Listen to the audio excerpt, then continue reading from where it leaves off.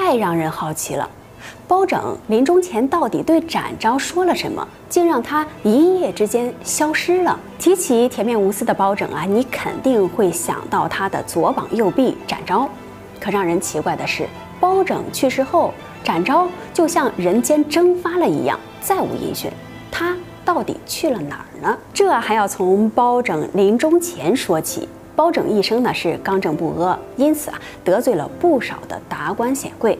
可皇帝十分信任他，那些官员们呢也不敢说什么，只能私下里啊针对他。可展昭呢时刻跟随在包拯身边，护他周全。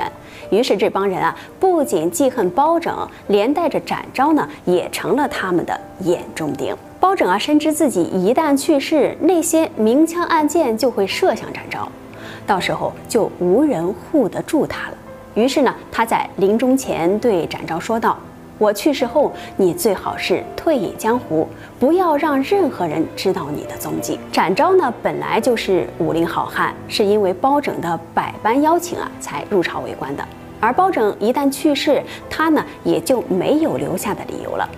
再加上包拯的那番叮嘱，于是呢，在包拯去世当晚呢，他就收拾行囊归隐江湖了。看了展昭的消失之谜，你有什么想说的呢？欢迎在评论区留言讨论，我们下期再见。